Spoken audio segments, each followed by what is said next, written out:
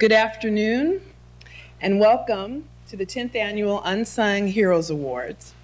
My name is Linda Brooks Burton. I'm the branch manager at the Bayview Waden branch in Bayview Hunters Point. And it is my pleasure to introduce to you our mistress of ceremonies for this program. Veronica Dangerfield is a comic, a motivational cheerleader, and a friend to all. She has been on national television and may be seen locally on KQED during pledge drives. She has traveled all over the world, but found San Francisco to be the only place she has ever held, uh, felt homesick for. She is also a patron and advocate of the San Francisco Public Library, who has worked on projects with us at the Bayview branch, including the annual Community Youth Debate and Speak Out. Please help me to welcome Veronica Dangerfield.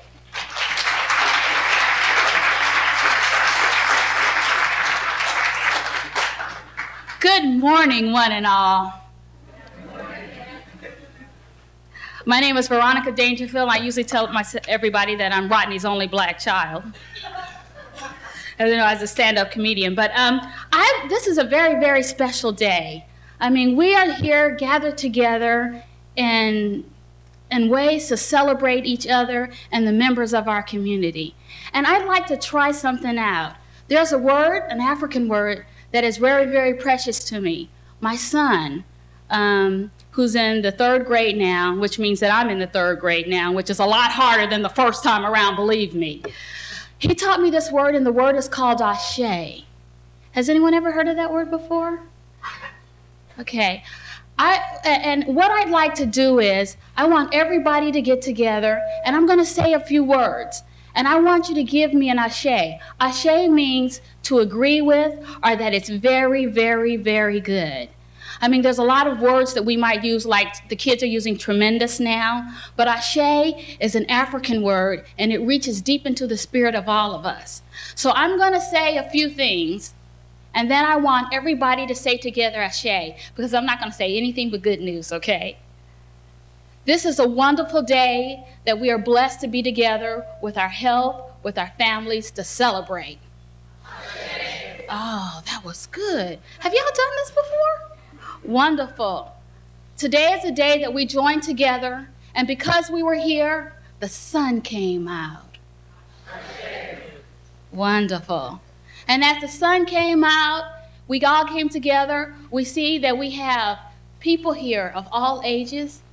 We have young people, we have older people, and we're all coming together to manifest better things, not only for today, but throughout the history of each of our lives.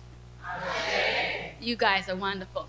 As we introduce everyone, don't let that be the last time you say Ashe. If you hear somebody that has done something wonderful, something that you would like to do, something that empowers you, Ashe away. Ashe away, y'all. I'm giving you permission. Ashe away. Today, this is well, you know when I got up this morning, I said, there's going to be a party today. I'm going to be able to see all of my extended family that don't even know me yet. So can y'all just say, hi, Cousin Ronnie? Hi, Cousin Ronnie. That's right, I'm your cousin. You didn't know that. And I'm coming over for dinner tonight. now I would like you to acknowledge each other, the divinity in each and every one of us, by turning around and looking at your neighbor, saying Ashe, have a good day, that this is a wonderful day. Can do, do that now because this is a family reunion. Say hello to your family.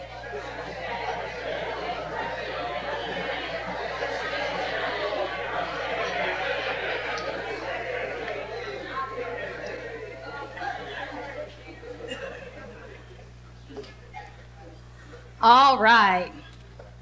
And now we're going to sing Lift Every Voice and Sing we it's actually written down in your programs, but most of us know the words. And I know I'm not singing this by myself, right? I'm gonna have people coming up here.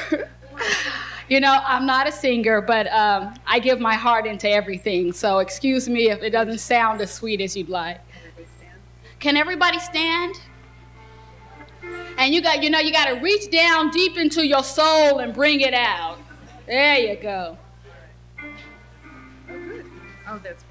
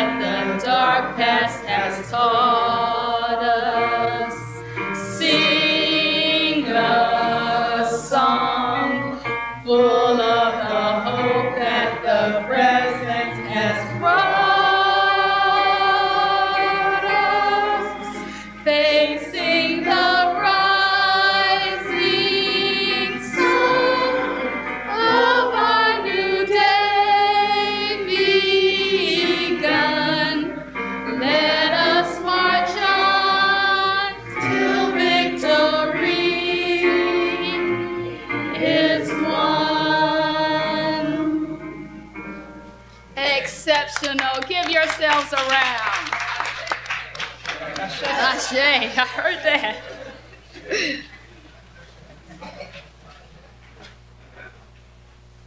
And now I'd like to um, welcome Regina Minudri onto the stage to give us our welcome. Good afternoon, everyone. My name is Regina Minudri, and it is a great pleasure to be your city librarian on this 10th anniversary of the Unsung Heroes Awards. So many people from so many walks of life do good things for our community, providing counsel for teenagers, advocating for the rights of the underserved, providing a helping hand for whatever the need is. The people being honored here today have gone that extra mile to help others. Our Unsung Heroes Awards program recognizes those who receive little recognition for the significant things that they do. I extend my heartiest congratulations to the winners, and I especially extend my sincere and humble thanks to all of you who make this city a richer and better place for all of us. Welcome to the library. I hope the program is wonderful. I know it will be wonderful. Congratulations to you all. Thank you.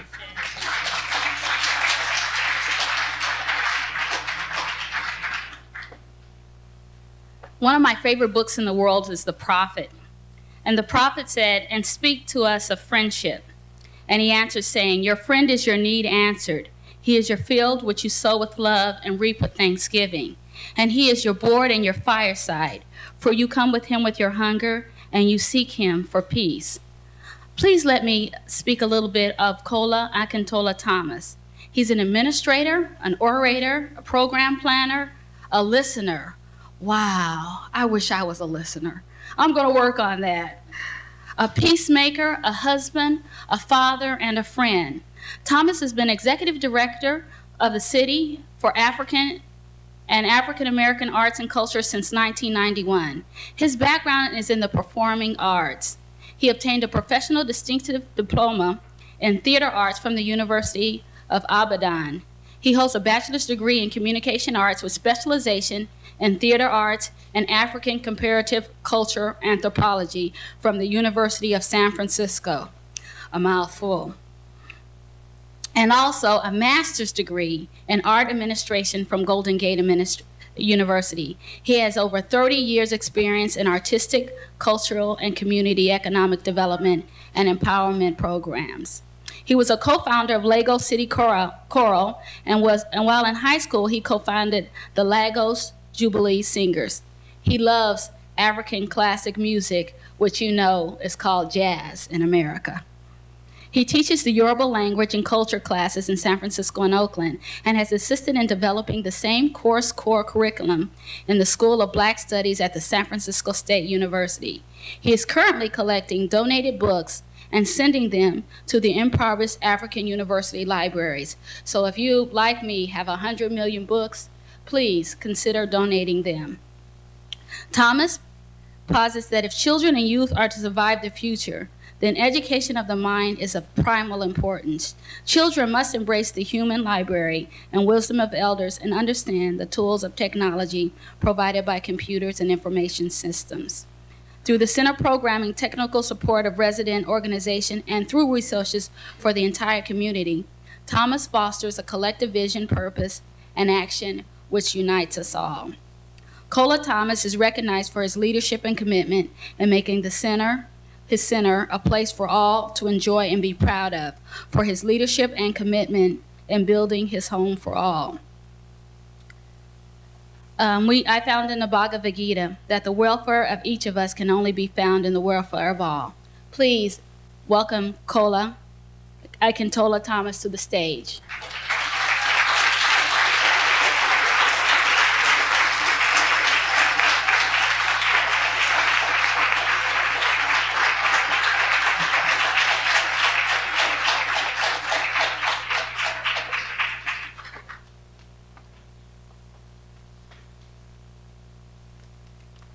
Ashe. Ashe. Thank you very much. I want to thank everybody for coming to honor all of us here this evening, and particularly grateful to Olodumare for making this possible. Uh, we're all heroes and heroines in our own ways. Um, this will not be possible without everybody's support and uh, making San Francisco a great place to be. I'm grateful to my parents who are in Africa. I'm grateful to Auntie Nonsizi, Professor Kayu. I'm grateful to Baba Ifayemi Elebuibon, who is our spiritual leader, and he's here with us this evening. I'm grateful to a whole lot of people, and I'm most grateful to my family for supporting me to offer to San Francisco what I do. And um, my colleagues in the arts, I'm also grateful to you. Without you, this will not be possible. And for everybody that's here today, may God abundantly bless you all. Thank you.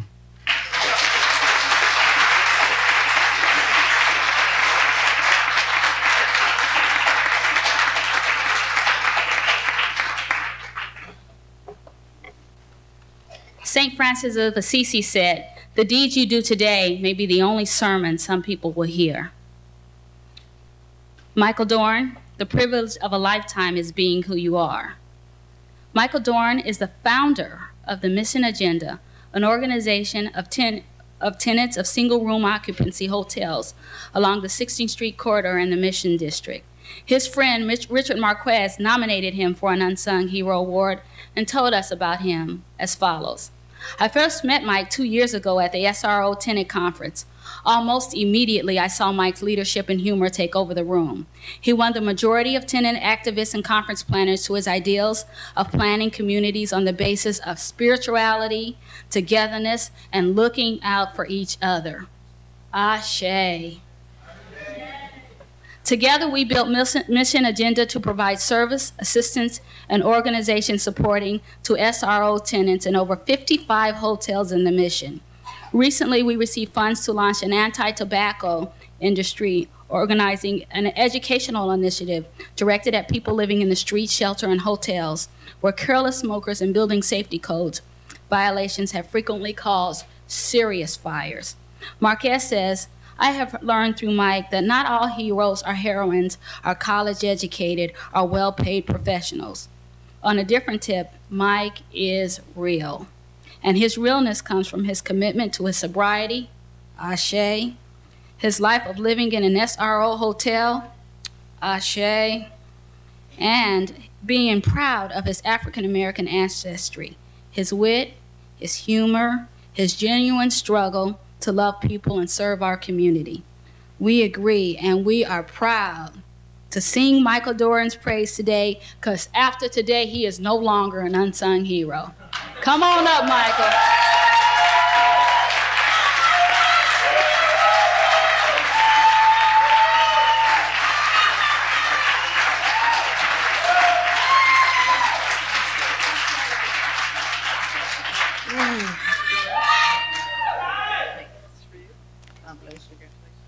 Wow.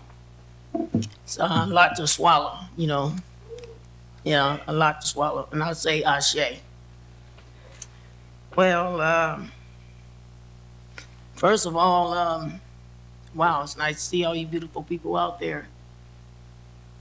And um, I've been thinking uh, ever since I was nominated to uh, uh, be presented with an award and stuff, what I would like to say. Um, I would say, like, right now, I think I would take another course in communication. That means, you know, maybe I can communicate with people and might want to be a car salesman or a politician because they all got something to sell, you know. But to get to the real side of things, um, I did write some speech, and uh, it comes from the heart. And I want to get to let everybody know what I think about life and people. Ashe.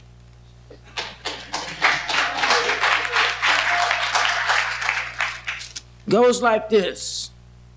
I am deeply honored and pleased to accept this award. First, I'd like to give thanks to my Savior Jesus Christ, then my family for being loving and supportive to me. But most of all, I'd like to thank you, Richard Marquez. Would you stand up? I'd like to thank Richard Marquez.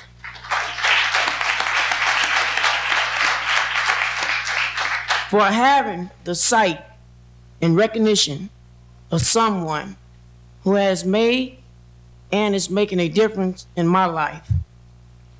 I myself had vision of making change all my life when it comes to helping other people. I learned early in life not to put someone on a pedestal because you could be letting yourself and others down for disappointment. But always keep the faith in the person. Never give up on a person. Um, get back to what I was saying because I pretty much lost where, where I was at, but I'm gonna get back to it. Mm-hmm. No problem. She said I can take a little bit over uh, three minutes if I had to. Okay. Says that I have to. Okay. I have many opportunities to make some changes in life. Over the last past year and a half, I have been involved in an organization called the Mission Agenda that works with homeless people and other organizations around the city. Oh, wow. Around the city. I want to thank the San Francisco Library and the other organization for choosing myself and others for this proud moment, and I will continue my work and efforts to do the right thing in life. I'd like to give a round of applause to the mission agenda. Over there, the mission agenda.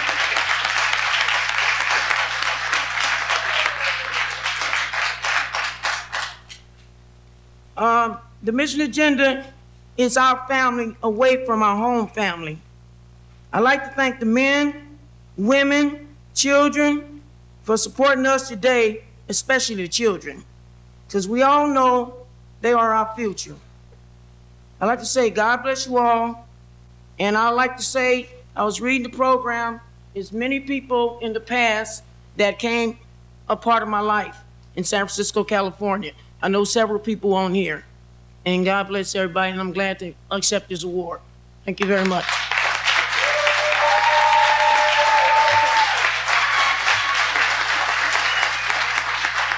Ashe, Michael. Well done. Um, I'd like to read a quote by um, Nelson Mandela. Playing small doesn't serve the world. There's nothing enlightening about shrinking so that other people won't feel insecure about you. We were born to make manifest the glory of God that is within us. It is not just in some of us, it is in every one of us. Ashe? Ashe. And as we let our own light shine, we unconsciously give other people permission to do the same. As we are liberated, as we are liberated from our fears, our presence automatically liberates others. And that is what I'm talking about when I'm talking about Dr. Wayland Fuller. Fascinating man, just fascinating. We are so, so privileged to have you here today, sir. Dr. Fuller came to San Francisco in 1947 with a wave of black immigration that was occurring at the time, but could not pr practice his profession as a pharmacist until he was licensed by the state of California. So, do you know what he did? I'm going to tell you what he did. With three degrees and a license from the state of Michigan, Dr. Fuller accepted a position as a truck driver with a Shoemate pharmacy on the corner of 3rd and Palou in the heart of the Bayview Hunters Point area.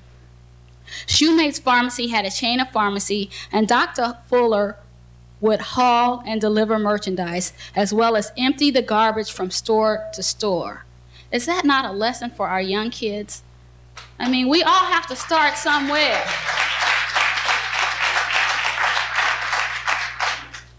When Dr. Fuller received his license from the state of California, he was hired by Shoemate as a registered pharmaci- pharmacist. He worked there for over 10 years until the pharmacy was sold to a new owner. He worked for the new owner for a few years until the pharmacy closed its doors. And when the pharmacy closed its door, what did Dr. Fuller do? He opened the door with his own name on it. Ashe. Dr. Fuller was able to draw a consistent clientele based on his reputation alone. You know, y'all didn't hear me. I said based on his reputation alone. Ashe. He eventually was able to hire a full time pharmacist as well as two pharmacy interns. He eventually was able to hire a full time pharmacist. Okay, I read that twice. Whoops. Okay. Thank, thank you. Thank you. Thank you, cousins. After a few years at the location, Dr. Fuller wanted to expand into a larger facility.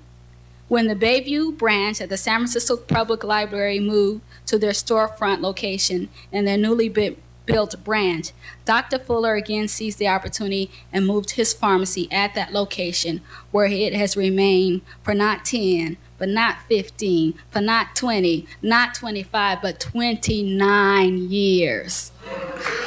Woo! Fuller's daughter, Wazel, eventually joined her, her parents in the business. She's a registered pharmacist who has a doctorate degree from UCSF. Ashe. Very good, sweet. So, and a lot, and a little child will lead them. Dr. Fuller had been very act active in the Bayview Hunters Point community as well as the city of San Francisco. A history of his board membership includes, and is not limited to, the following Board of Directors and Treasurer of the Bayview Hunter Point Foundation, Advisory Committee of the Phoenix Project, which is now in the Jelani House, Board of Director for the Alcoholism Treatment Service, Advisory Board for the Southeast Community College, Board of Director for the John Hale Foundation, what kind of vitamins do you take, Mr. Fuller? You've been awfully busy, sir. Board of Directors from the San Francisco Heart Association. He's also a founding member of the Bayview's Hunters Point Network for Elders, a community based coalition established to identify the needs of frail elders. Dr. Fuller is identified with a person of quality. His longtime friend, Marion Pavis, notes that he has given prescriptions for free to those in need and will even deliver them when the time gets hard. Now, Walgreens cannot put a candle to that, okay?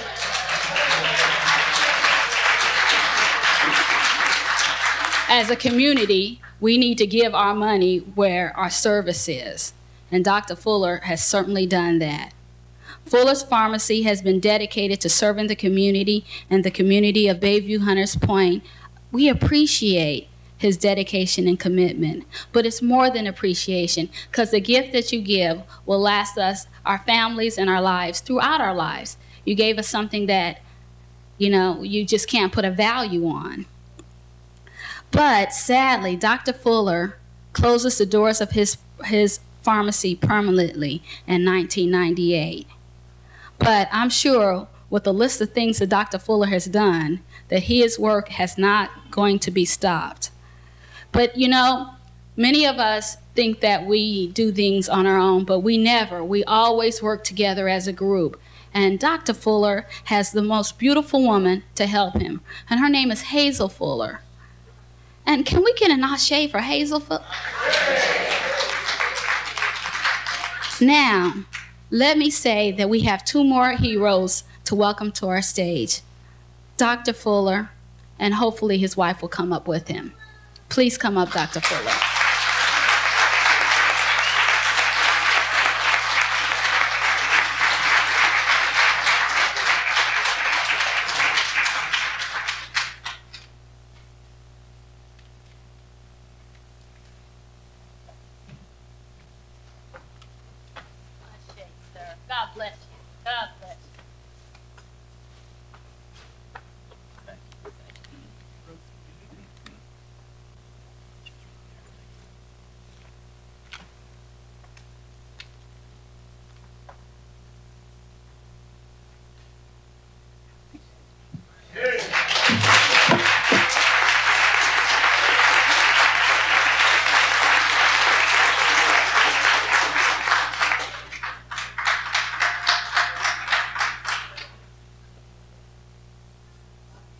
Members of the library.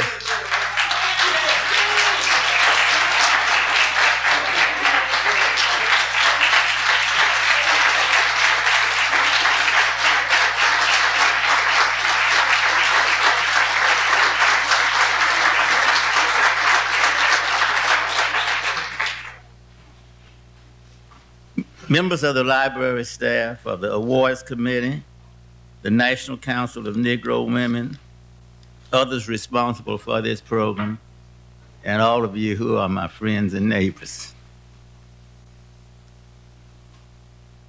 When I looked around,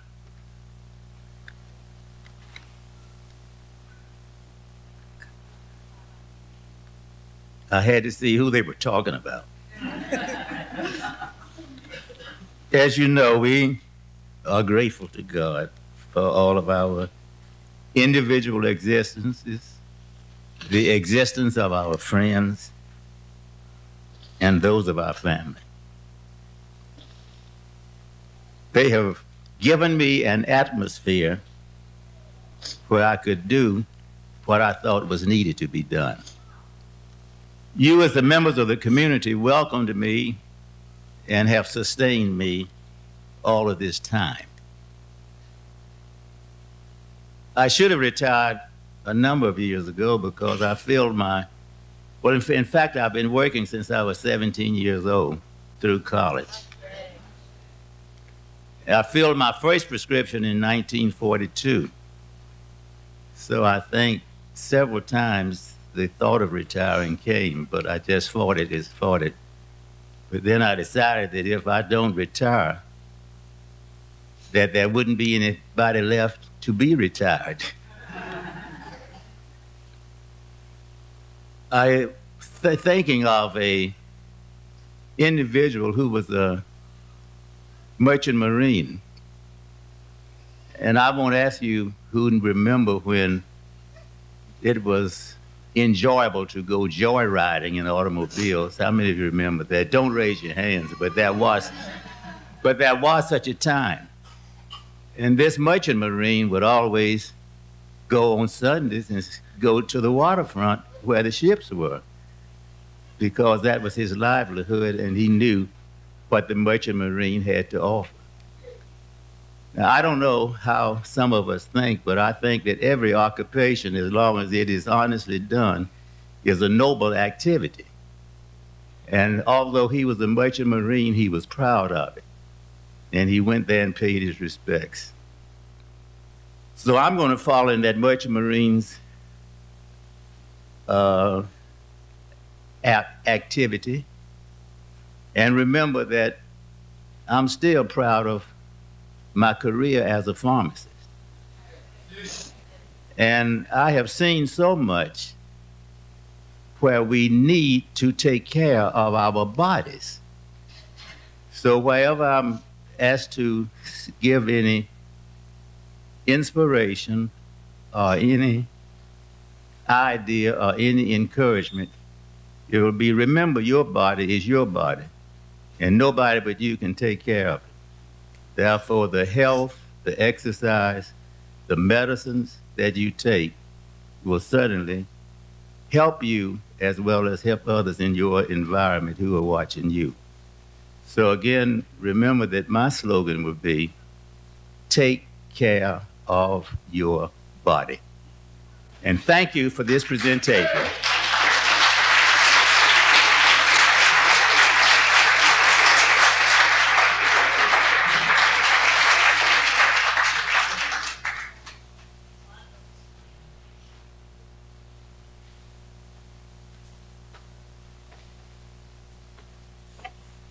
About y'all, but I'm feeling a little touched right now.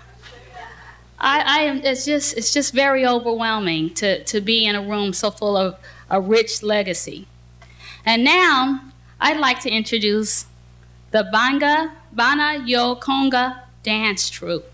They um, have been around for three years, and they come from the Whitney Young Center. So put your hands together and let's have a little fun, a little dancing.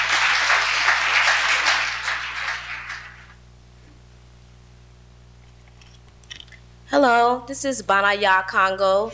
And we're a dance troupe, a Congolese dance troupe. We've been dancing out at Whitney Young Child Development Center in the Bayview Hunters Point District.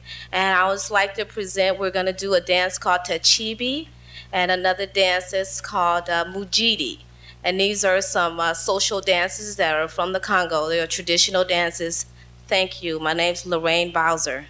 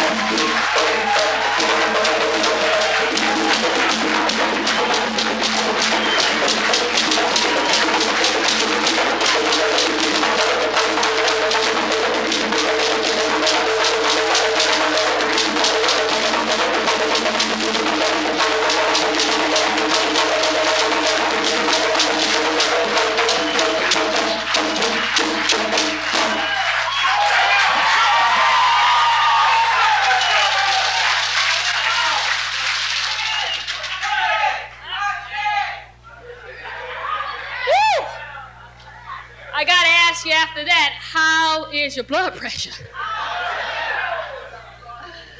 Now, I remember a time when I could move like that.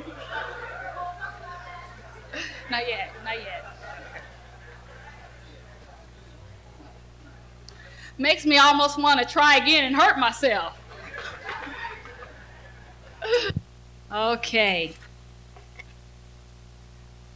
And the heroes just to keep a coming. Ah, Ashe. I found a, a, beautiful, beautiful poem, and it just um, reminded me of the next person that's coming up. Listen to this, it's very, very beautiful. I looked for my soul, but my soul I did not see.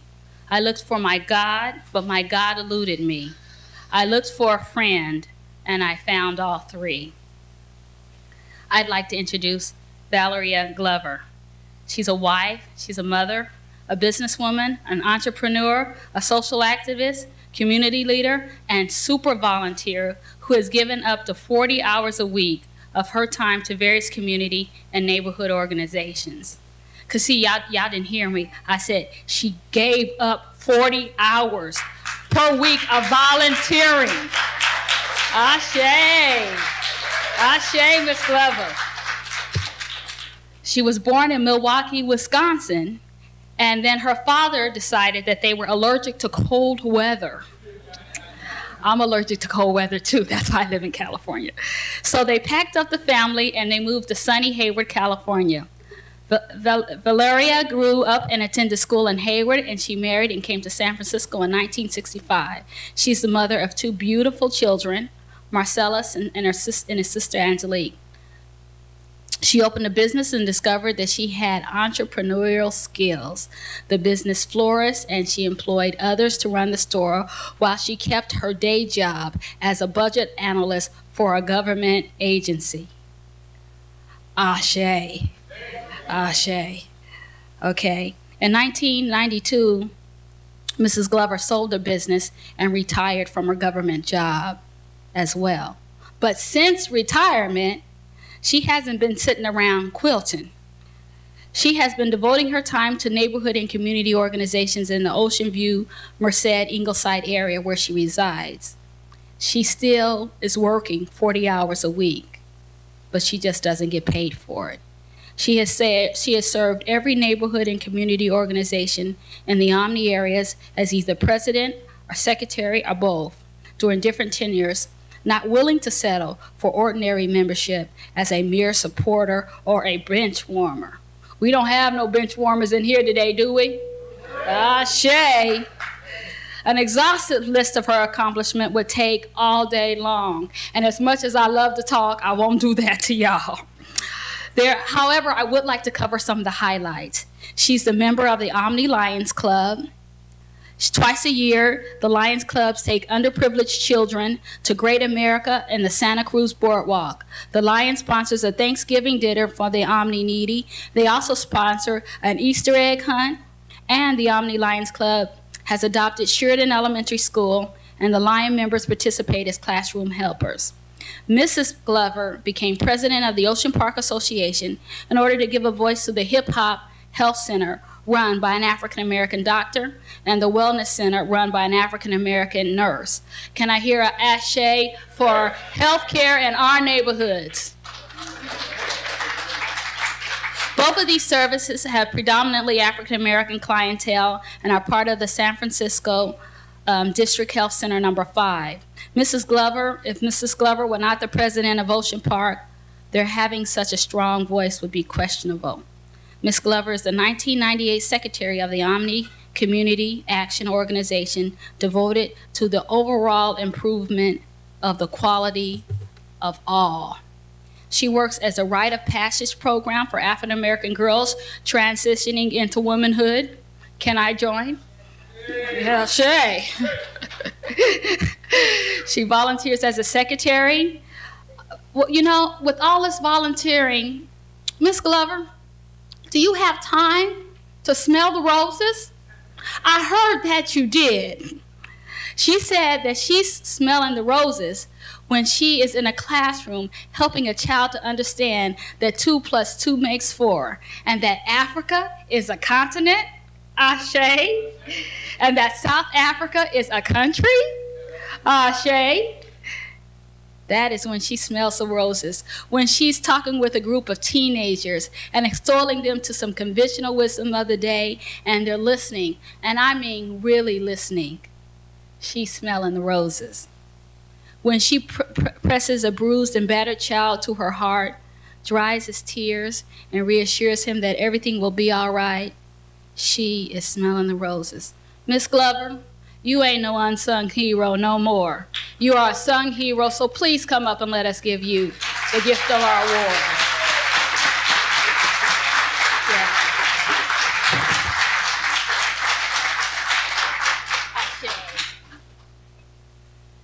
I really did not prepare a speech. Um, I did not expect to get an award for doing something that I enjoy doing, which is volunteering. I do want to thank someone that mentors me that really is unconscious of his mentoring, Ron Cothers. He makes me take that extra step. Uh, would you stand, Ron?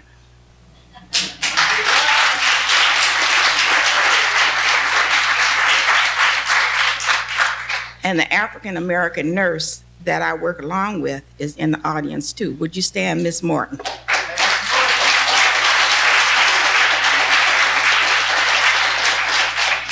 So I'd like to give thanks to my family and to my husband who has to have an understanding because I'm hardly ever at home. Uh, to my father who's no longer with me, who had all my life and uh, tried to persuade me to get involved in the community in which I live. So to all those that helped me, Miss Thomas, that helped me get this award, I say thanks. Ashe.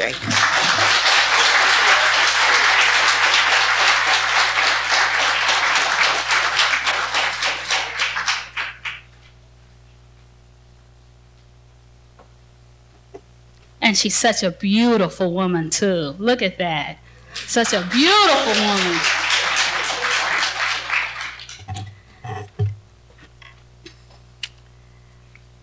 Reading from the prophet, and a, and a woman who held a babe against her bosom said, Speak to us of children. And he said, Your children are not your children.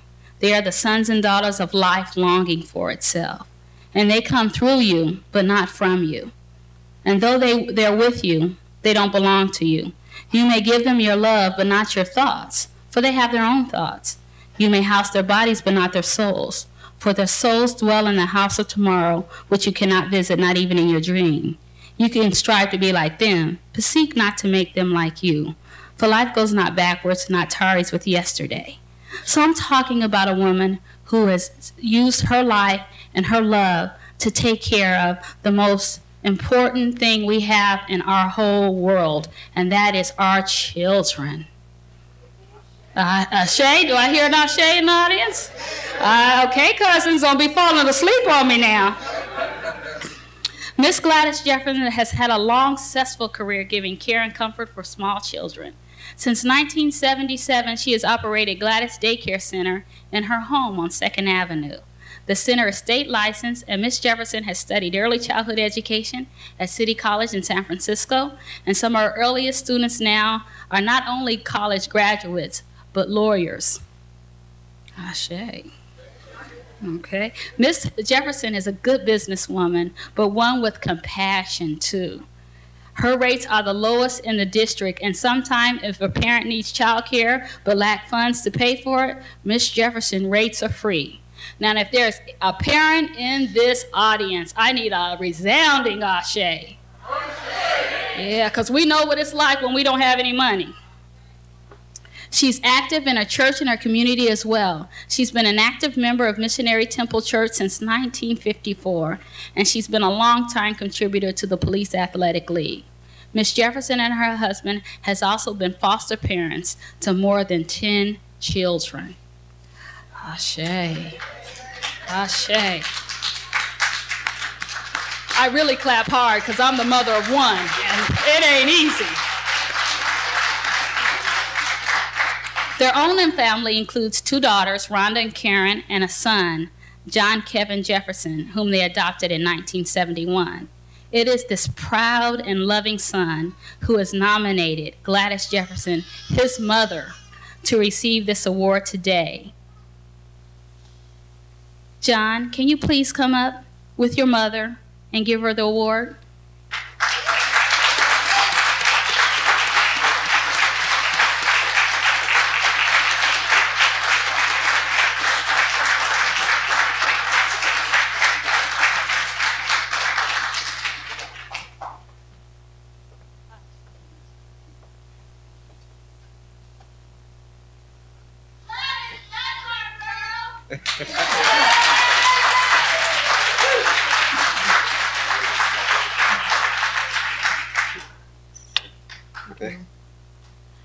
Man, 27 years ago this very month, this lady stepped into my life and changed it forever.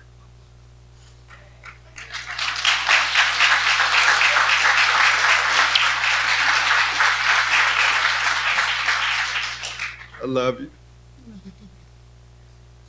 I want to say one thing. Everyone in the audience say, give God the glory. Thank you.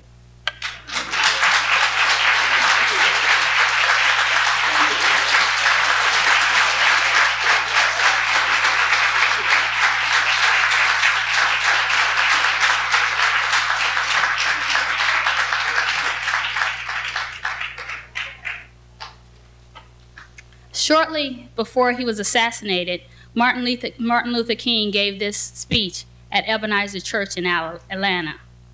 He was right, he was speaking about his impending doom. He said, Tell them not to mention that I have a Nobel Peace Prize in my eulogy. Tell them not to mention three or four other awards. I'd like somebody to mention that Martin Luther King tried to give his life serving others. I'd like for somebody to say that Martin Luther King tried to love somebody. Say that I was a drum major for justice. Say that I was a drum major for peace. That I was a drum major for righteousness. And all of the other shallow things will not matter. I won't have any money to leave behind.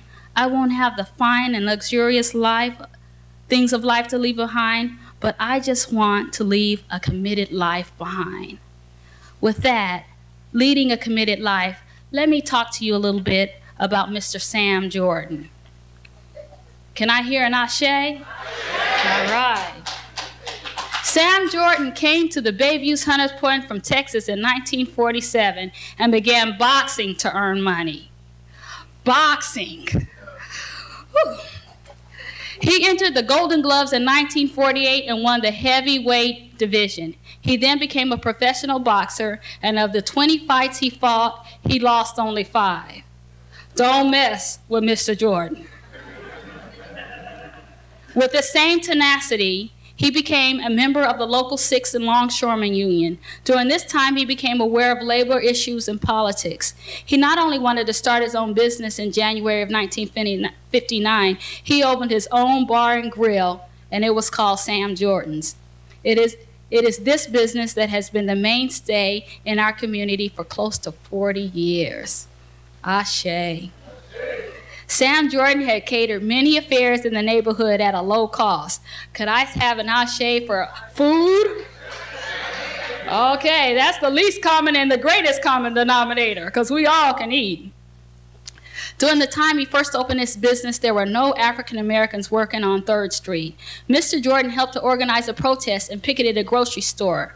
After only one day, the grocery hired its first black employees, and other businesses along 3rd Street marched in line. This was one of Mr. Jordan's first forays into politics. I shave for black employment.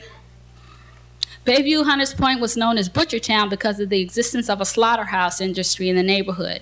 For over 35 years, Sam Jordan has been known as the mayor of Butchertown because of his 1963 bid for mayor. His platform was equal opportunity, and he ran on the Freedom Now party ticket. There were eight candidates in that race, and Mr. Jordan came forth losing, not losing, but not getting the job to Jack Shelley. Even though he didn't win that one, Mr. J Mr. Jordan did bring to light the need for equal opportunity in our city. Sam Jordan is a good role model for would-be entrepreneurs. I love this quote. I love this quote. He said, when I started my bar, I didn't even know how to mix a drink. Now, how many of you gonna start something when you don't know the first thing about it? Now that is true faith. God was operating full time, okay? He said when my first customer came in and asked for a bourbon and water, he was terrified. But he pushed through that fear and he began a long began a long career in business. And if he, he says if he can do it, so can all of us. Ah, Shay. Although Sam Jordan is presently in poor health, but our thoughts and our very best wishes are with him. His community spirit is alive and well in the friends and supporters that he made over the year. Could, could I ha please have his cousin, Jerome Collins, come up and accept the award for him? Please give Mr. Collins a hand.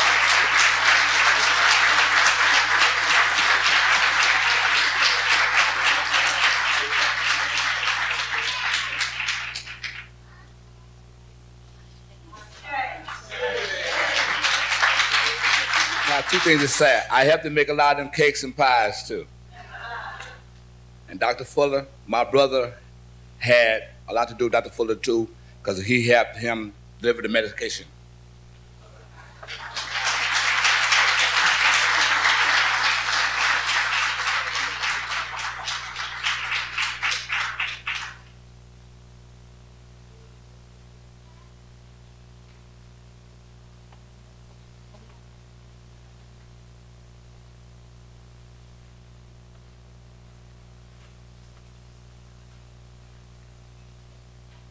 I please have Katia O'Korie come up and introduce Sounds from the Ground?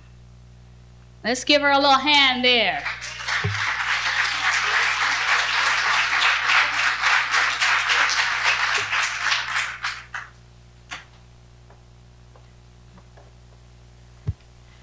First, giving honor to God, the omnipotent, to my ancestors, to my wonderful parents, my mother just joined my father last month, so they're now both sitting on the right hand of God. And speaking of elders, before I go any further, Dr. Wayland Fuller, may I have your permission to speak, please? Thank you. That's one thing that we've fallen out of. We've fallen away from our culture, and we don't respect our elders like we should we should teach our young people this and these different traditions. I'm here to present the award to a group that I nominated, Sounds from the Ground, who are from Bayview Hunters Point, Double Rock, Sunnydale, Lakeview, and the East Bay. That's Unity at Work.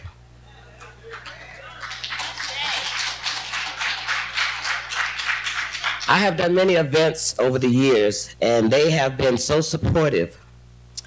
Not only are members in the group were part of the Hunters Point uprising in 1966, and people have a tendency of looking down on those people, but I look at those people as my freedom fighters because they protested police brutality and substandard living, living in Bayview Hunters Point and all over the city for black people back then.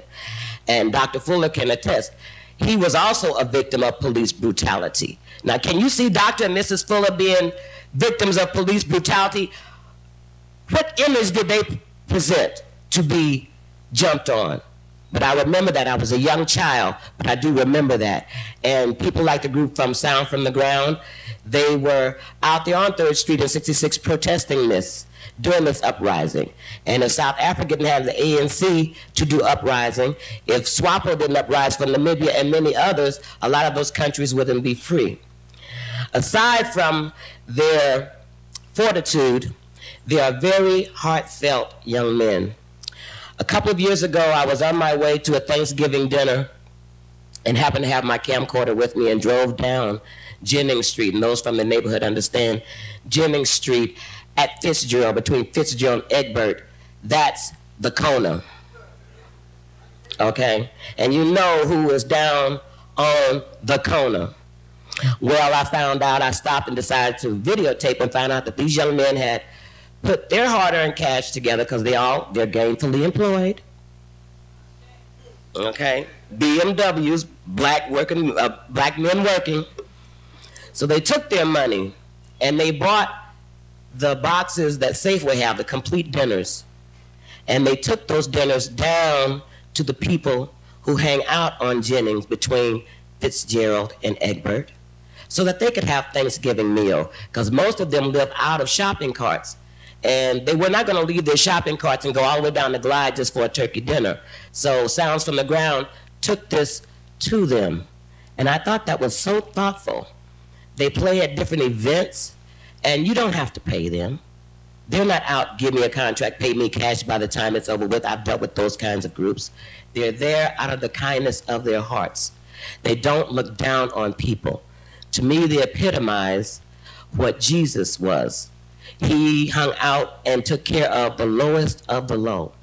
They understand that, but not for the grace of God, there go I. And I like that principle about them. And I'd like to call up Brother Jerome Collins once again and Sounds from the Ground to get their award. A group who has kept the African culture alive in my community, and I love them for it. I love them for their unity, their thoughtfulness, and their fortitude. Sounds from the Ground.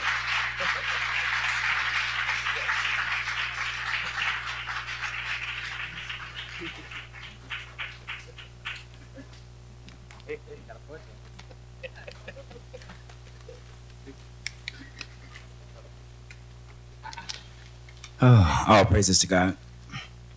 Um, wow, it's a lot of us. uh, me and these gentlemen, we um, we stuck through thick and thin. Um, our goal was to keep the tradition going. Uh, the tradition is it's like you know, sounds of the ground. It's like you know, it's like the opposite of Motown. Motown had a certain sound what everybody loved, but we gave the same sounds. But we were at all the picnics, all the family reunions, we were we was at all the events. Uh, we was the guys way over in the corner, way over there, playing the Congo drums, heads facing the sky and things. Um, I was a little kid then, and I seen some of these same gentlemen up here playing. And, you know, uh, some 15, 20 years later, I end up playing with them. Um, spirit is very, very positive. They taught me a lot about how to care about people, how to um, present myself, dealing with the public, how to be a positive role model for people of all ages. Um, and it's been an honor. But I would like to give a special thanks to one of the members of the group for keeping this together. I mean, he hung in there through the thick and thin. Um, it's really two of them. They both start at the same time. First, I would like to give a special um, thanks to Mr. Nate to my left right here. And to his further left, I'd like to give a special thanks to Jerome. He is one of the founders that she was talking about back in the 60s. And, um, you know, and I'm going to let everyone else introduce themselves, you know. By the way, I'm the youngest out the group. I'm Tony Mayfield. So I'm going to start from right to left and let them come introduce themselves. I don't know my right from my left. My name is Nate Smith, and I've been with the group since its beginning. Um, we're, we're a local group uh, out of Bayview, and um, we've done a lot of um, benefits, some political, some not, weddings, what have you, and uh, we haven't received, we've received, we've received a lot of thank yous, what have you, but this sort of puts the icing on the cake um, because we've really put a lot of work in. Uh, if no one doesn't want to mention the names, I'll do that. There's Tony, there's Jerome, Hollywood, Busy B, my African friend. I'll just put it like that. He's he's our inspiration in regards to that. There's Marco, there's Edward, there's Edward, and Cati. She sort of uh, said it all. Uh, she nominated us for this, and we're very proud to receive these awards. And we thank you very much.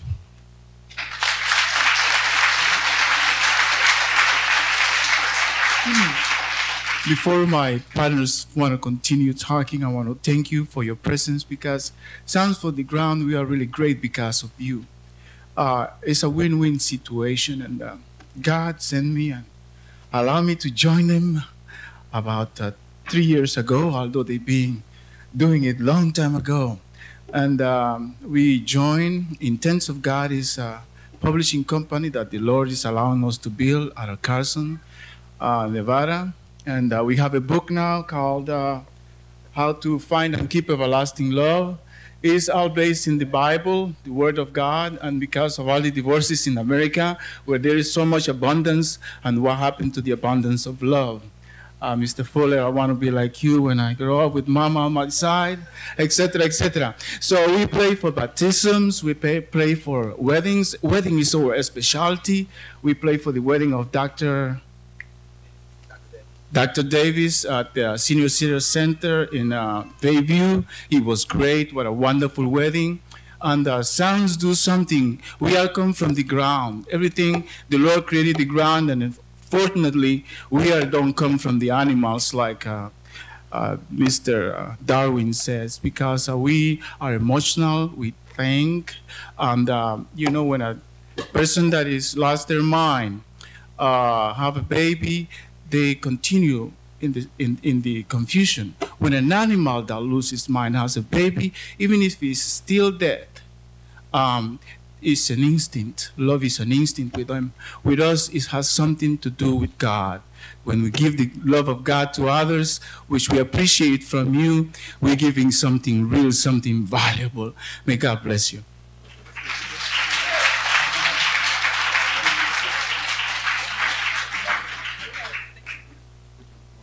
Hi, uh, I'm Everett Ryan, and uh, I had the pleasure of being in the group for the past four years.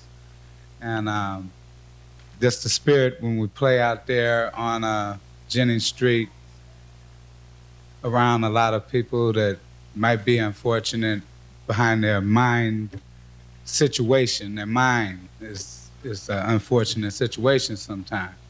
So we sing songs that try to uplift the Lord. We try to uplift them and let them know. We sing songs like Why We Gotta Be Poor in America because it's been so much that our forefathers, mothers have spent their lives, been through slavery, been through everything, and now that we're free, we really don't have to be poor when we're rich in our spirit and rich in our souls.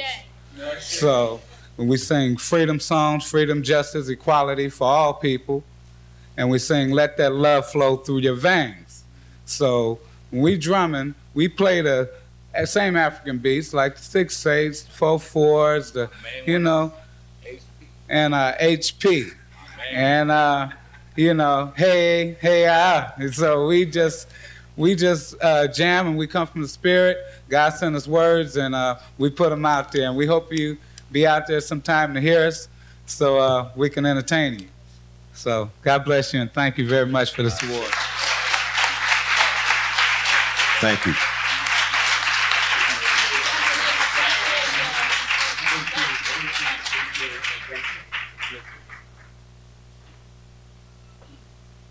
A wonderful day like today. I promised you I wouldn't sing to you, but I changed my mind. now we're going to have a selection from the Hills Project String Group. There, these, these young people are going to be performing on February 28th at the San Francisco Randall Museum, at the Live Oak Theater in Berkeley on March the 1st, at Laney College on March the 7th and 8th, and at the San Francisco Library on March the 21st. You guys have been absolutely phenomenally wonderful. Can you give your hand, yourselves a hand?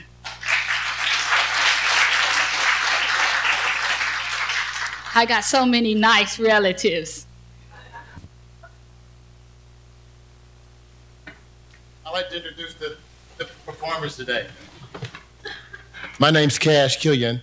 And I work with the uh, Hills program that uh, Ingrid Hills implement that's working at Rosa Parks, John Swett, and Ben Franklin.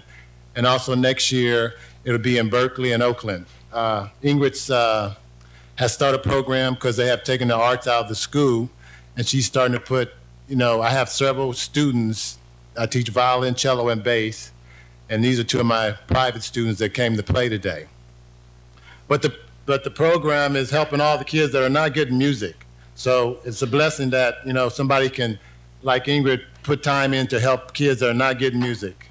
Because I think a lot of our youth are getting robbed from music because all they hear is rap, and that's all. That's not all the music there is, you know. So it's very important that they understand their culture and heritage and their history. Okay, and I like to say that uh, support your support your kids. Go to your school, help your kids. It helps them. Whenever I have my uh, students' mothers or fathers come, the kids play better, perform better in school. You got to support your kids.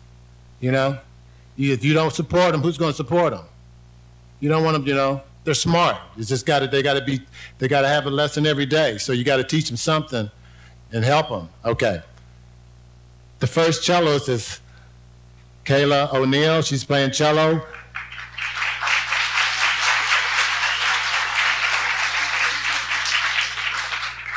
And Jaywon Jang is also playing cello.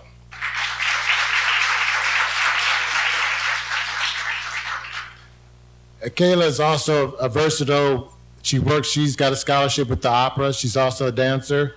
She's also a violinist, so she's going to play a violin piece also. Okay.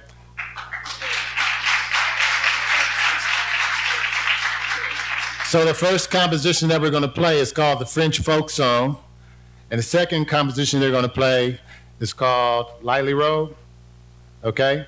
So we'll start with that, then I'll tell you what else, what else we're going to play.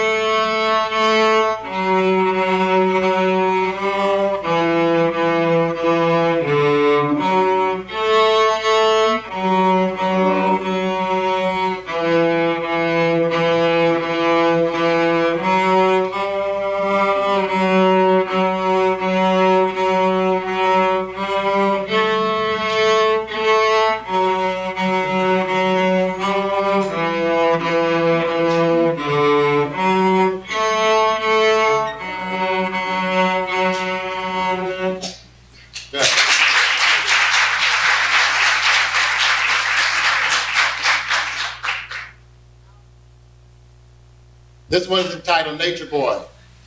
And when I sing it to my daughter, I always call her Nature Girl, so it's for, I always call it Nature Boy and Nature Girl.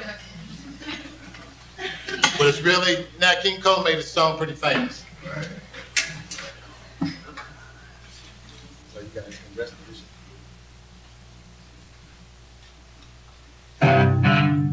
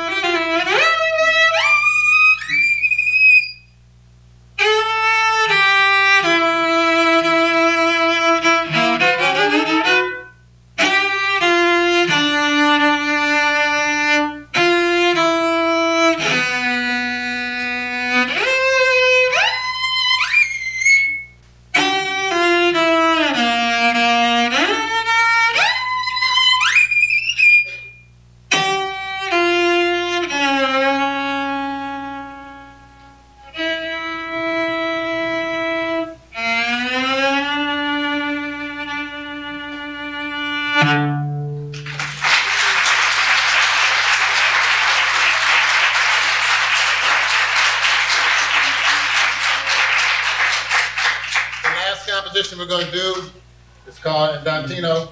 We're gonna play a little round. Jay Wan's gonna start off, then play through it, and me and Kayla's gonna come and play with it. And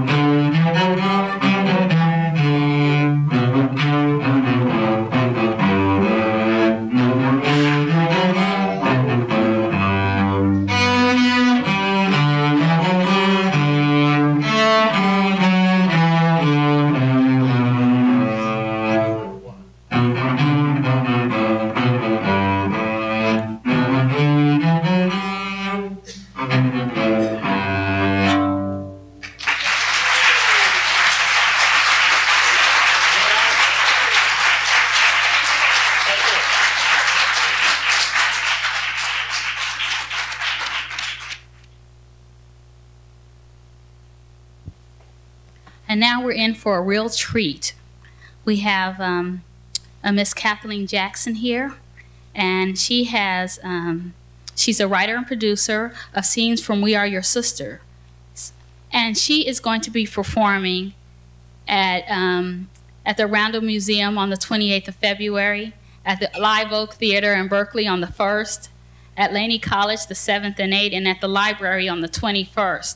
So if you got your day timers, if you can jot any of those dates down, I'm sure she would really appreciate your support. So please help me welcome Kathleen Jackson to the stage.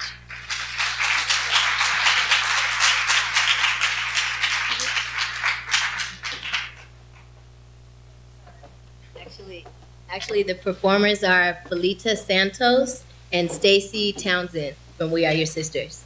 Thank you. Power to the people. Power to the people.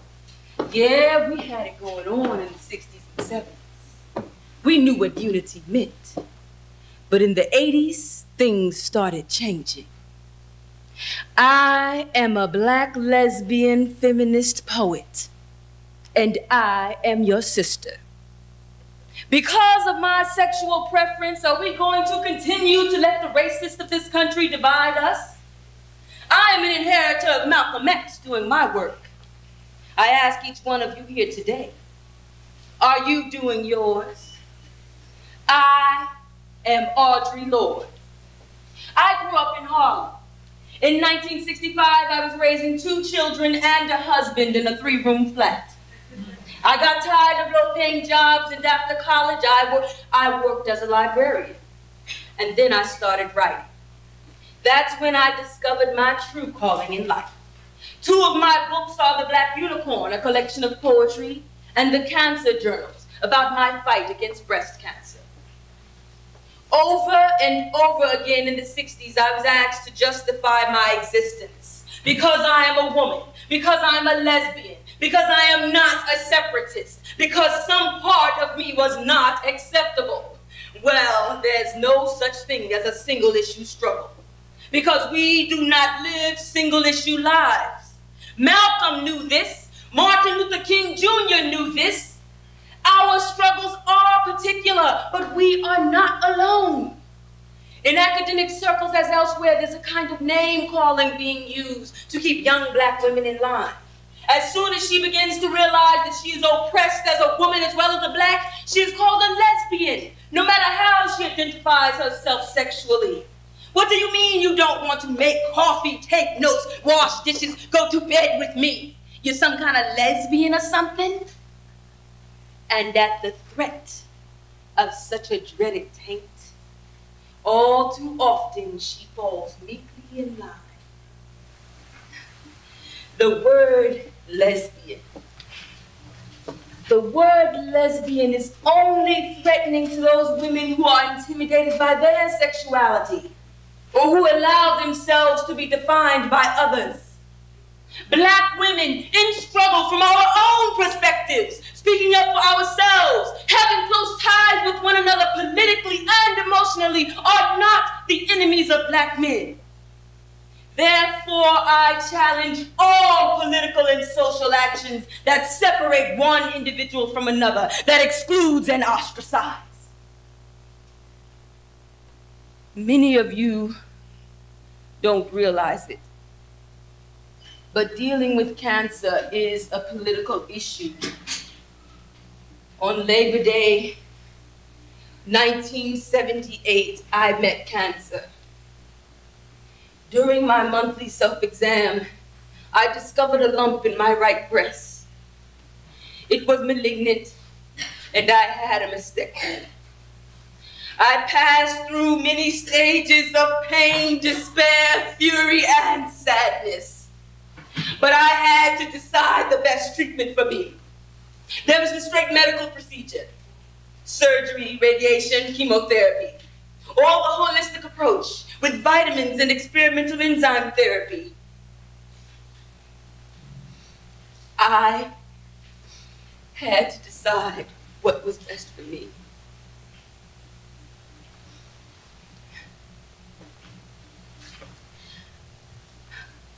I was forced to look at myself and my living with an urgent clarity that shook me but made me stronger. I felt possessed by a rage and was determined to do whatever was necessary to keep on living.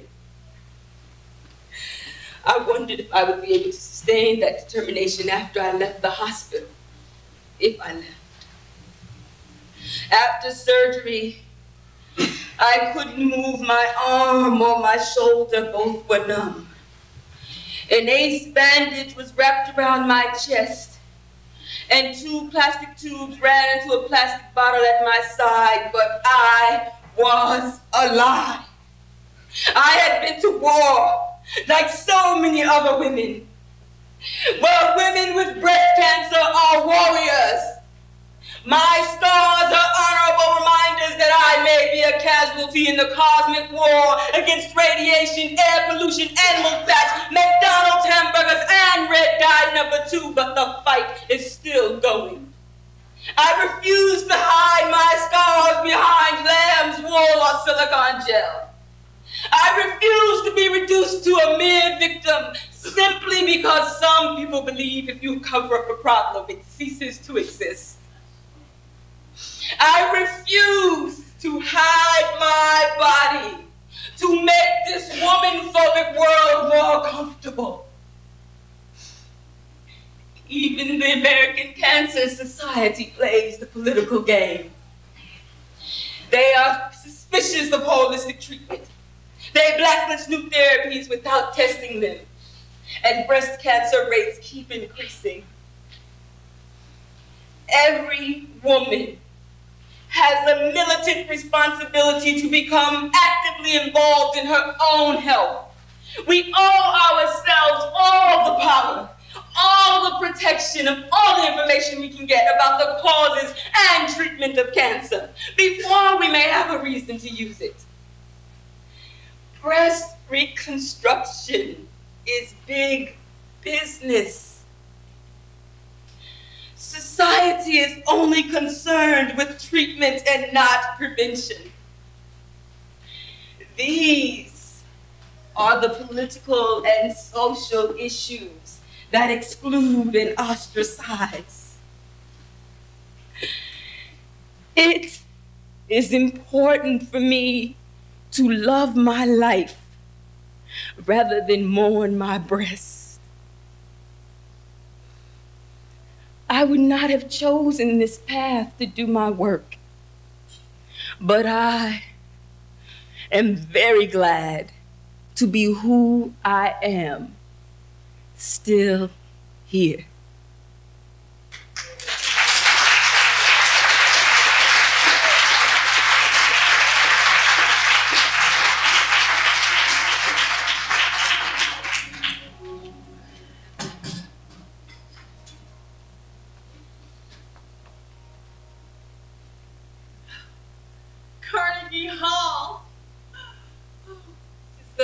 Biggest night of my life. Those cats from Count Basie and Artie Shaw's bands could see me now. The house is packed, sold out, and I haven't sung in months. Who would have believed it? After being locked up for nine months, this is some homecoming, huh? Finally, all the hassles are paying off. Billie Holiday at Carnegie Hall. Who'd have believed I'd make it here? Back in 1937 and 38, touring with the bands, we had some rough times. We traveled 500 and 600 miles. There was hardly any rehearsal time between joints.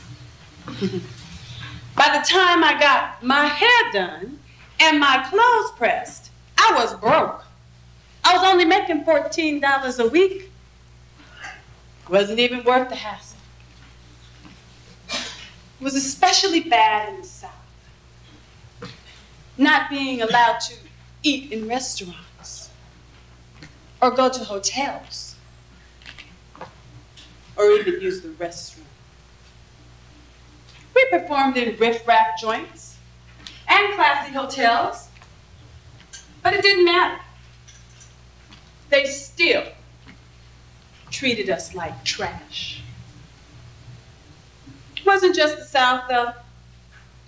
Sometimes they treated us just as bad in cities like Detroit and New York, my hometown. Those old fags, crackers, so stupid. They just kept creating problems because I was the only black in an all-white band. Hmm. Most times the only woman on tour. I mean, Artie did what he could to make things easier for me. But you just can't change the world overnight. I even got fired at the famous door. Real popular joint in New York City. They said me and Teddy Wilson were too friendly with the customers. yeah, we could sing. But no mingling with the white folks after the singing was over. I wish I could see their faces now. Oh, this is great. I'll never forget this night. March 27, 1948. And they said the American public would never accept me again after being in jail. Thank you, Lester. Thank you, Mama. Thank you, God.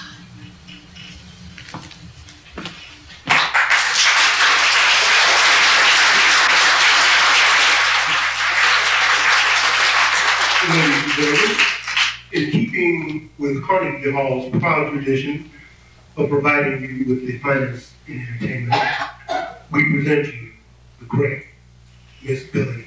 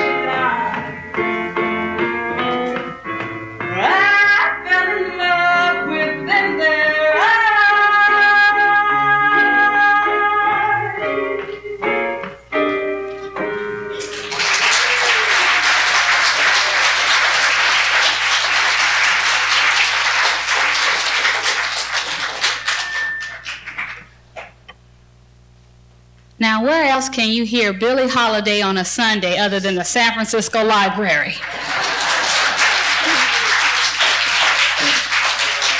I say to you, Miss Billie Holiday, Ashe.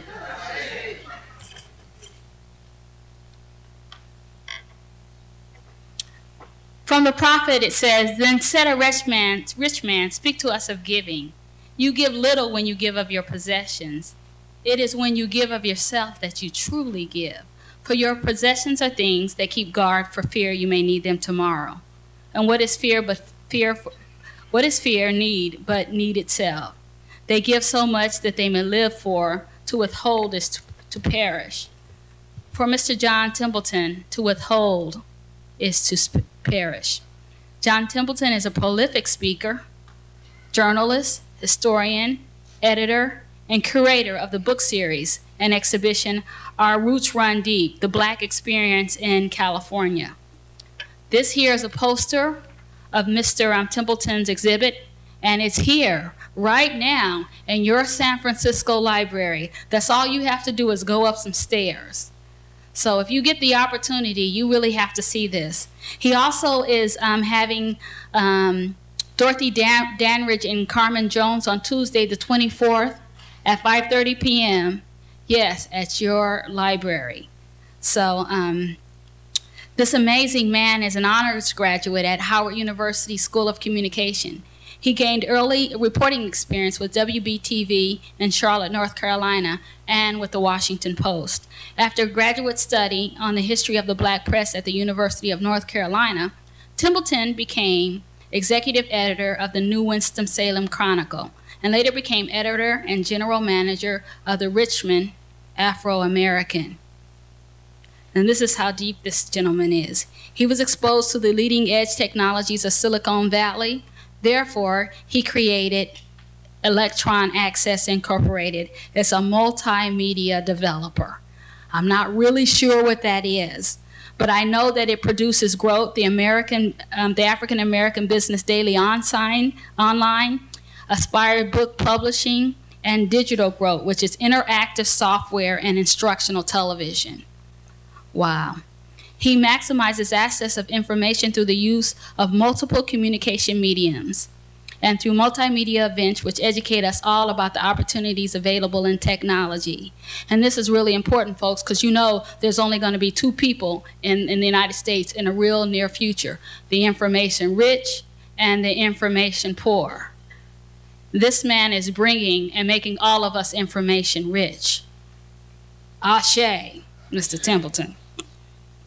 Templeton is in the business of educating. And you know, the original um, definition of education is, is a Latin word and it's to draw out. So not only, um, so Mr. Templeton is drawing out education for all of us through producing exhibitions, documentaries, programs, and workshops which bring knowledgeable panelists together to educate and to empower. Templeton's activism includes speaking at local, state, and national forums. He informs and encourages legislators, informing them of the vital contribution of African American. He has conducted numerous tours which validate African American achievement and presence in the 1880s and today's financial district of San Francisco. He has erected street banners in the area of historical sites marking the contributions of important African Americans. The artifacts and historical sites are kept alive in the mind of our young people because Mr. Templeton has allowed history to be kept alive. We honor you now, Mr. Templeton, for reminding us of the rich historical contribution of our ancestors, and through their works and contributions, we may be motivated, we may be empowered, and we may be able to make the same contributions ourselves. Please come up, Mr. Templeton.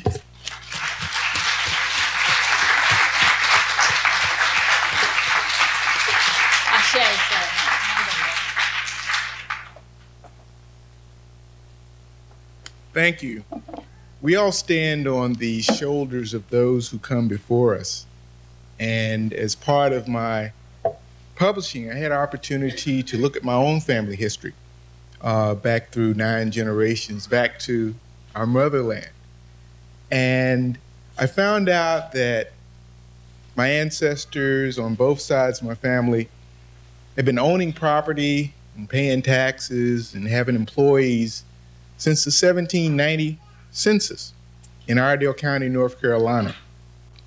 Despite that, when my father was one of the first blacks to serve in a U.S. Navy submarine during World War II, when he returned from Mare Island Naval Shipyard and wanted to go into engineering school, he was told there were no places for blacks to study engineering. So he's an unsung hero that I'd like to receive this award on behalf of. I also want to receive it on behalf of my mother, who was a high school valedictorian, but she also uh, did not have the opportunity to attend college. But she didn't let that deter her, and she had three children who were high school valedictorians and another who was a National Merit Scholar.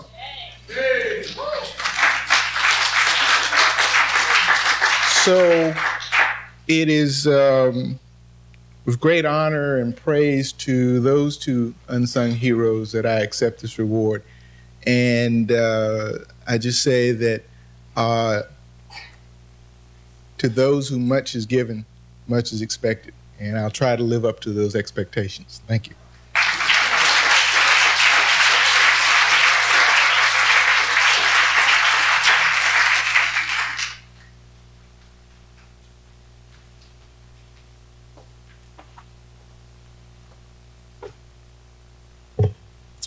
I'm, I'm reading a quote by Robin Davidson. She said, The two most important things I learned were that you are as powerful and strong as you allow yourself to be.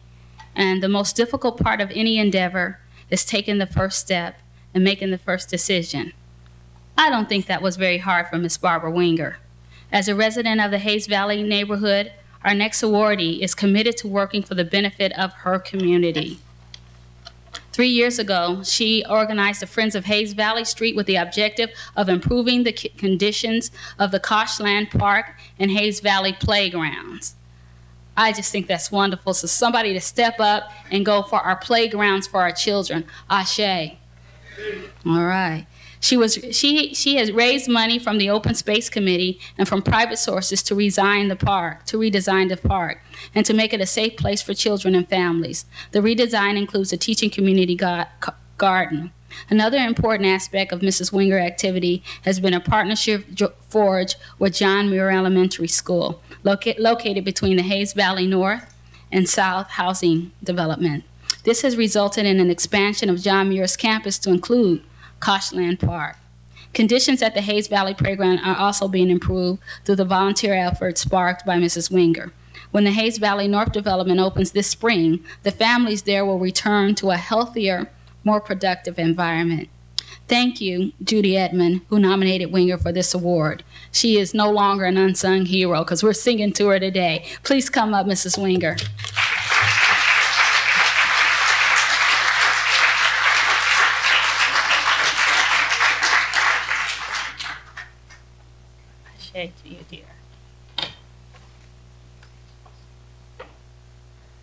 I don't know if you're as much in shock as having me up here as I'm in shock of being up here. And um, I am very humbled by being awarded this. And uh, I am, uh, I didn't prepare anything, but I have to be short, and I wanted to just read something that's been tremendously inspiring to me when people, people are unreasonable, illogical, and self centered, love them anyway. If you do good, people may accuse you of selfish motives. Do good anyway. If you are successful, you may win false friends and true enemies. Succeed anyway. The good you do today may be forgotten tomorrow do good anyway. Honesty and transparency make you vulnerable. Be honest and transparent anyway. What you spend years building may be destroyed overnight. Build anyway.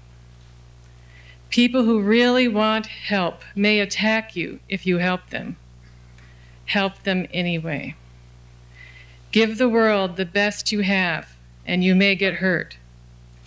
Give the world your best anyway. This is from Mother Teresa. Anyway, thank you so much.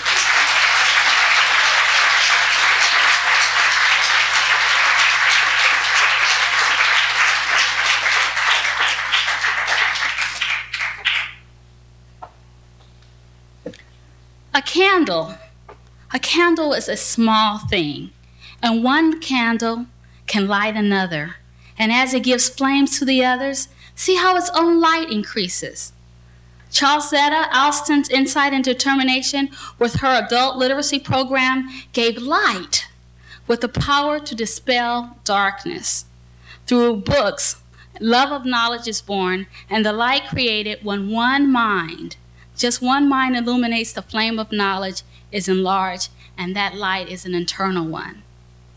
Charles Alston started the San Francisco Adult Literacy Program in 1967 when she realized that thousands of adults were unable to get work because they couldn't read. She conducted classes anywhere she could, including her own kitchen. She's been a volunteer for literacy for more than 30 years. If you've ever in your life read a book that you enjoyed, give me an ashe. Besides teaching, Ms. Alston has become nationally known speaker and writer on the subject of adult literacy. According to Dr. Martha McHenry, who nominated her for this reward, award, the literacy workshops she has given across the country have inspired many other people to become volunteers. The need to help adults improve their reading skills is well known today. There are many fine organizations promoting adult literacy, including the San Francisco Public Library own excellent program, Project Read, which began in 1983 with grants from the Friends of the Library and the State of California Literacy Program. But Charlesetta Alston came first.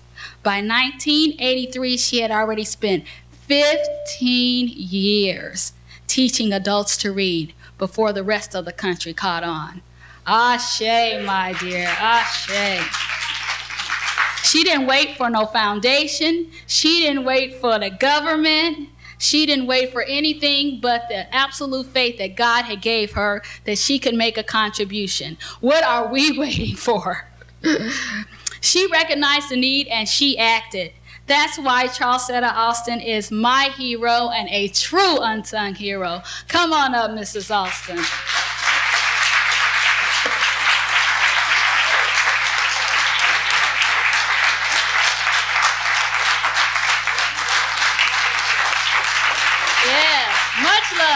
Much love. God bless you, dear.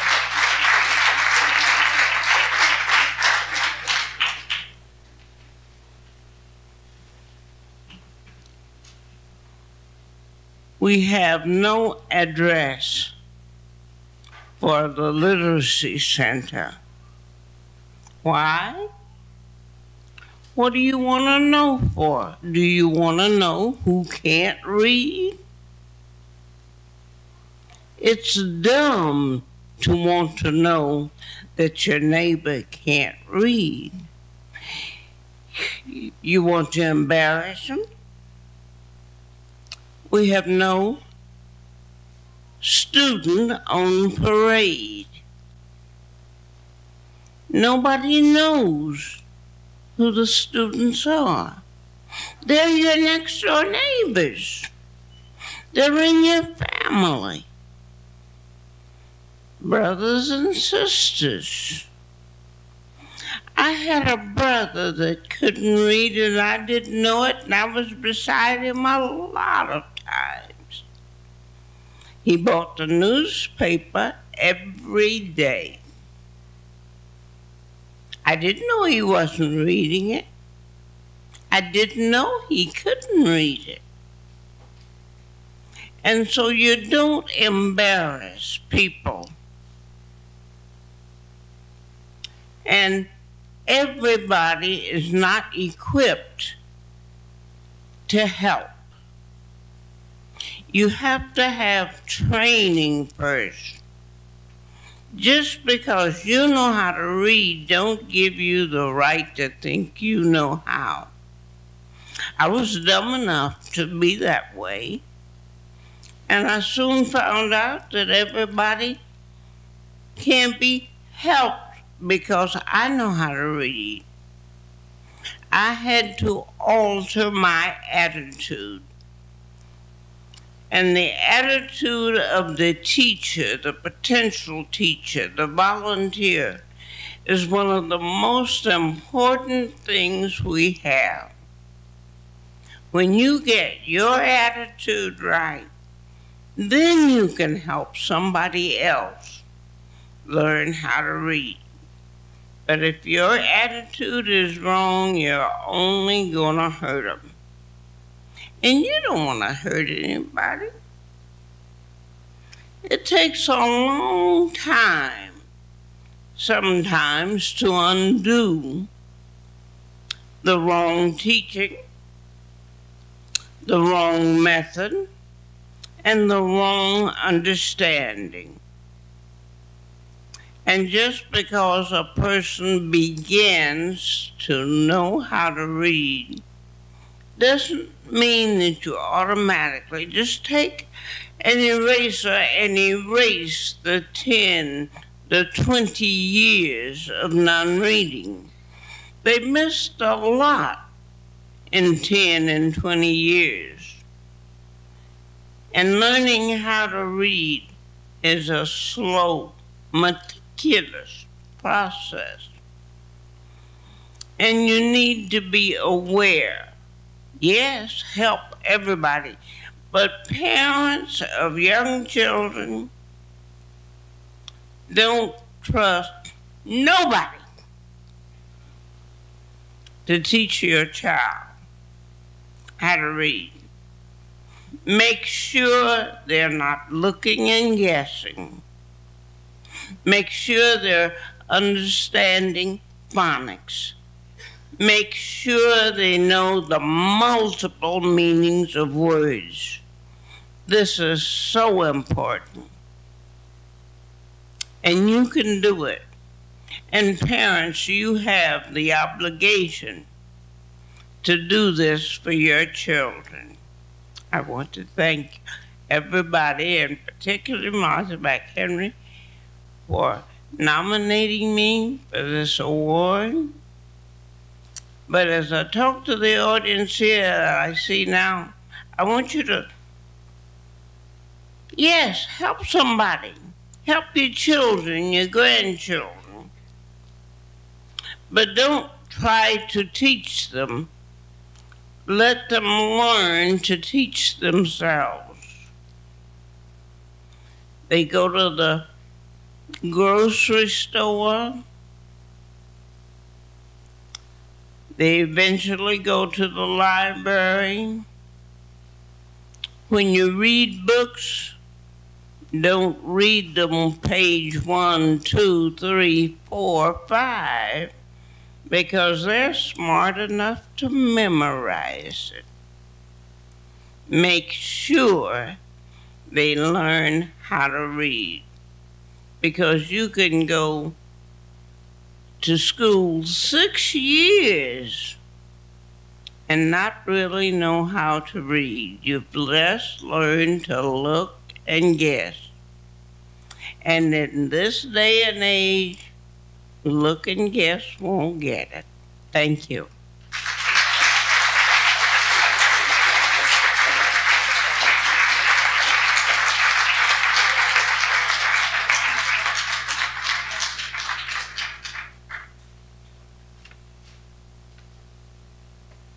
We have one more presentation, one more selection before we leave, but I just wanted to tell you about my cousin Jed.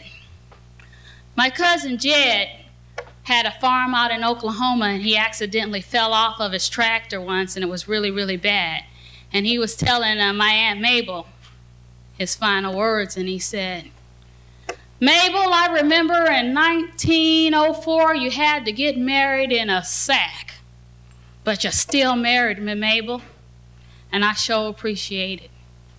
And then in 1942, you wanted to send our three children to college, but by that time I had a really bad crops and we didn't have nothing but a couple of peas on the table. But you stayed with me, Mabel. And then in 1952, Mabel, you wanted our kids to go to college. But I had another bad year, and all of a sudden, Mabel, they didn't get to go nowhere. So now I'm sitting to you and I'm telling you, Mabel, saying my final words. He looked her straight in the face and he said, Mabel, I think you're bad luck.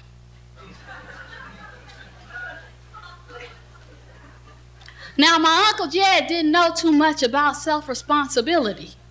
He didn't know that it was his fault, and he died on his deathbed blaming my Aunt Mabel, who went off and married a millionaire shortly thereafter. Happy to say. So I just want to um, end with just a couple of announcements. But first of all, I wanted to just read a little short poem that I wrote because I was inspired by all my beautiful cousins here. And don't forget about me. Visit me sometime and send me uh, invitations to dinner because I don't cook.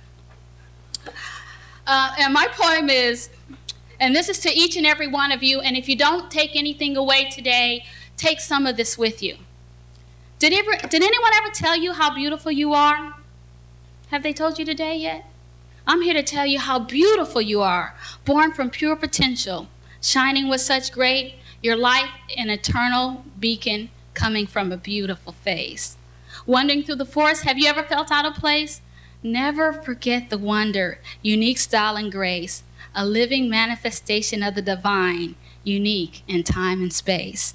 A million years could never explain the magnificence of each of your individual existence. Perfection unframed, your beauty will continually grow, never will recede.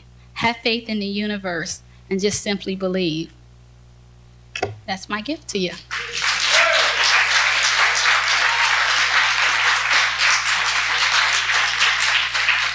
God bless you all. I'm Veronica Dangerfield, and I love you.